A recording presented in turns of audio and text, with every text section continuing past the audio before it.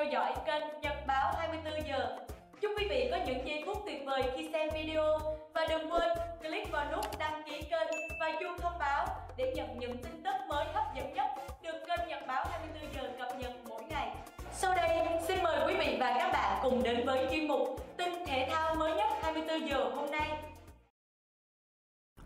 Nhân tố bí ẩn được huấn luyện viên Park Hang-seo triệu tập là ai? Quý vị và các bạn thân mến, ngay sau chiến thắng 1-0 của BKMS Bình Dương trước Sài Gòn FC, huấn luyện viên Nguyễn Thanh Sơn đã tiết lộ tiền vệ Tô Văn Vũ có thể được huấn luyện viên Park Hang-seo triệu tập vào đội tuyển Việt Nam để chuẩn bị cho Kings Cup 2019. Đây là cái tên còn khá mới lạ với nhiều người hâm mộ bóng đá Việt Nam. Trong trận đấu sớm ở vòng 9 Việt League 2019, BKMS Bình Dương đã có chiến thắng tối thiểu 1-0 trước Sài Gòn FC để tạm tránh xa khu vực nguy hiểm, cũng như nhiều trận đấu trước đó của đội chủ sân gò đầu, Tô Văn Vũ tiếp tục chơi tốt là cái tên thường xuyên khiến hàng thủ đối phương khốn đốn. Chia sẻ sau chiến thắng của BKMS Bình Dương, huấn luyện viên Nguyễn Thành Sơn bất ngờ hé lộ do biết Tô Văn Vũ đã có tên trong danh sách sơ bộ của huấn luyện viên Park Hang-seo nên ông chủ động để tiền vệ sinh năm 1993 đá dự bị nhằm dưỡng sức cho chặng đường sắp tới. Trận đấu này tôi chủ động cất Tô Văn Vũ trên băng ghế dự bị vì cậu ấy đã thi đấu rất nhiều trong thời gian vừa qua. Tô Văn Vũ cần giữ gìn sức khỏe cho chặng đường sắp tới của BKMS Bình Dương, lẫn việc cậu ấy có thể được gọi lên đội tuyển Việt Nam. Theo tôi được biết, Tô Văn Vũ đã có tên trong danh sách sơ bộ tập trung đợt này của đội tuyển Việt Nam. Không chỉ lần này, trước đó cậu ấy đã được huấn luyện viên Park Hang-seo nhắm đến rồi. Trước khi về Bình Dương, sở trường của cậu ấy là đá hậu vệ biên. Tôi nghĩ là nếu Tô Văn Vũ được gọi lên đội tuyển Việt Nam cũng hoàn toàn xứng đáng và đủ khả năng cạnh tranh suốt đá chính. Huấn luyện viên Nguyễn Thành Sơn bật mí. Tô Văn Vũ là một trong những cầu thủ chơi nổi bật nhất trong đội hình của BKMS Bình Dương ở hai mùa giải gần nhất. Tại Việt League 2019, cầu thủ chạy cánh sinh năm 1993 này ra sân tổng cộng 7 trận, 6 trận đá chính và một trận vào sân ghế từ dự bị cho đội bóng đất thủ và ghi được một bàn thắng. Còn tại AFC Cup 2019, Tô Văn Vũ đã ghi được 3 bàn thắng sau 5 lần đá chính cho đội bóng đất thủ dầu một. Trong bối cảnh tiền vệ, Vũ Văn Thanh vẫn đang trong quá trình hồi phục chấn thương và Trọng Hoàng không được thi đấu ở giai đoạn lượt đi của Việt League 2019 ở Viettel, Tô Văn Vũ hoàn toàn có thể là lựa chọn không đến nổi tội với huấn luyện viên Park Hang-seo cũng như đàn anh Trọng Hoàng, cầu thủ của Bình Dương có thể chơi tốt ở cả vị trí hậu vệ phải lẫn tiền vệ phải. Huấn luyện viên Park Hang-seo sẽ đối đầu với thầy cũ Modric tại Kings Cup.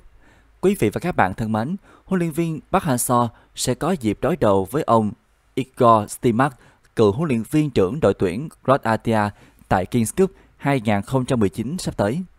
Liên đoàn bóng đá Ấn Độ AIFF đã chính thức bổ nhiệm ông Igor Stimac làm huấn luyện viên trưởng trước khi lên đường sang Thái Lan dự Kings Cup 2019.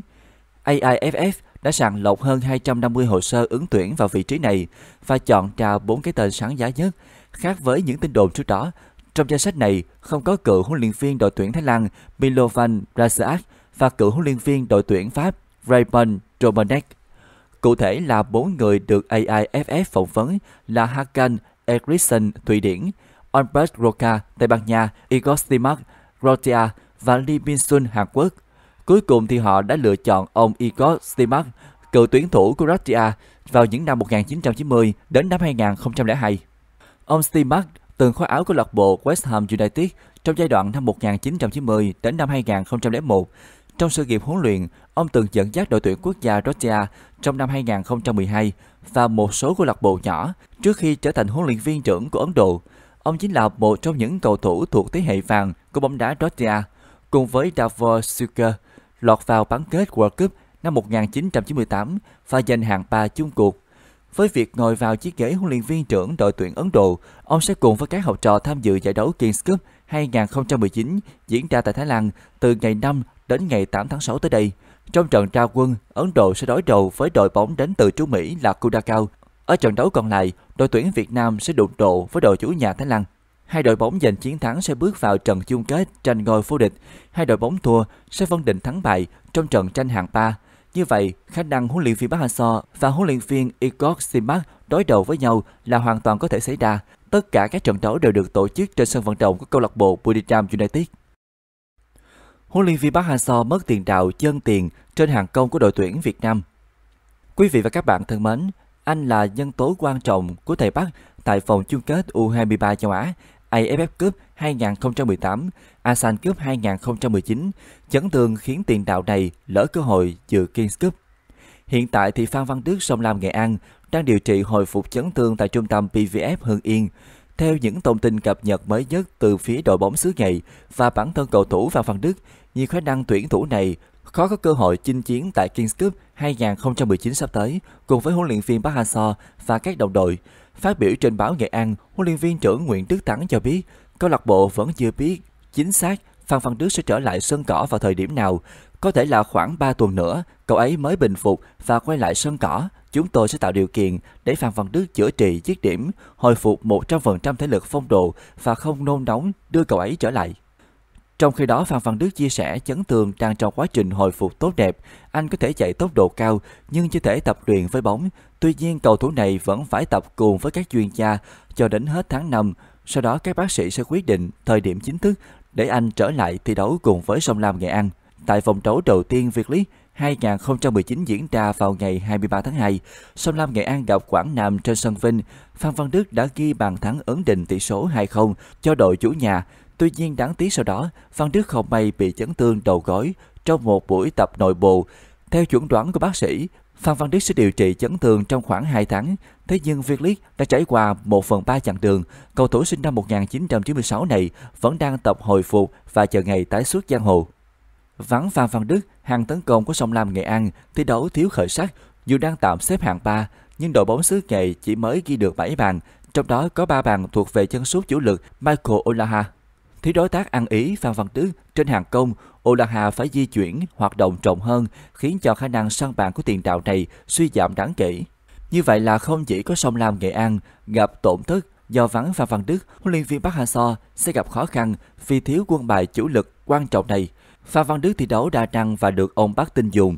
Cầu thủ này tỏa sáng ghi bàn quan trọng trong trận gặp Iraq tại vòng chung kết U23 châu Á 2018 tại Thường Châu, Trung Quốc. Tại AFF Cup 2018 vừa qua, Phan Văn Đức hai lần lập công trong trận thắng Campuchia ở vòng bảng và trận bán kết lượt đi trước Philippines. Anh là chân tố quan trọng giúp cho Việt Nam lần thứ hai đăng quang ngôi quán quân tại AFF Cup sự đa năng, tinh thần thi đấu như những chiến binh của Phan Văn Đức đã thu hút sự chú ý của những câu lạc bộ tại Czech League và Thái League. Giải Kings Cup 2019 tại Thái Lan sẽ diễn ra từ ngày 5 tháng 6 đến ngày 8 tháng 6. Đội tuyển Việt Nam sẽ chạm trán với Thái Lan vào ngày 5 tháng 6. Huấn luyện viên Park Hang-seo sẽ gọi Tuấn Anh, Văn Thanh lên tuyển.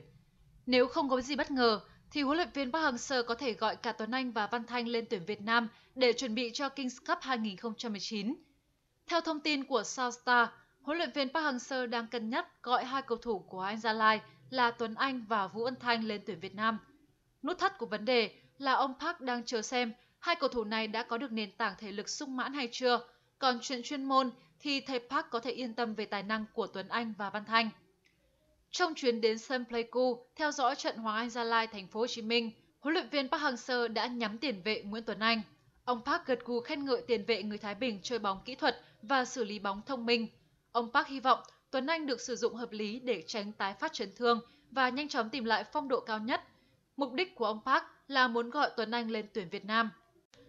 Tuấn Anh trở lại từ đầu mùa bóng 2019 sau ca chấn thương nặng ở sân Lạch Tray. Tiền vệ người Thái Bình thuộc diện của hiếm của bóng đá Việt Nam. Tuy nhiên, chấn thương hành hạ liên tục khiến cho sự phát triển của Tuấn Anh không được như mong đợi. Đây là điều vô cùng đáng tiếc, dù tài năng của Tuấn Anh là điều được tất cả thừa nhận. Trong khi đó, Vũ Văn Thanh phải nghỉ một thời gian dài sau khi phẫu thuật ở Hàn Quốc. Văn Thanh đã có hai trận ở V-League nhưng chỉ vào sân từ hiệp 2, mục đích là Văn Thanh dần tìm lại cảm giác bóng và phong độ sau chấn thương. Cả Văn Thanh và Tuấn Anh từng góp mặt ở tuyển Việt Nam, một người là tiền vệ tài hoa bậc nhất, còn một người từng là vị trí không thể thiếu bên hành lang cánh trong sơ đồ 352, 343 hoặc 532 của huấn luyện viên Park Hang-seo. Thế nên, ông Park cân nhắc gọi cả hai cầu thủ này trở lại đội tuyển quốc gia là một điều hợp lý. Từ nay đến ngày tập trung của tuyển Việt Nam còn khá dài, Văn Thanh và Tuấn Anh sẽ có thêm thời gian để tích lũy thể lực. Nếu không có gì bất ngờ, thì ông Park sẽ gọi cả hai trở lại tuyển Việt Nam để chuẩn bị cho Kings Cup 2019 trên đất Thái Lan vào đầu tháng 6 tới. Trận khai mạc Kings Cup 2019 diễn ra lúc 15 giờ 30 phút ngày 5 tháng 6 giữa Curacao và Ấn Độ. Vào lúc 19 giờ 45 phút, Thái Lan sẽ chạm trán Việt Nam. Cảm ơn quý vị và các bạn đã quan tâm theo dõi. Nếu thấy hay thì các bạn hãy like và share video và đừng quên click vào nút đăng ký kênh để nhận những video hấp dẫn được cập nhật mỗi ngày. Xin chào và hẹn gặp lại quý vị trong những video tiếp theo.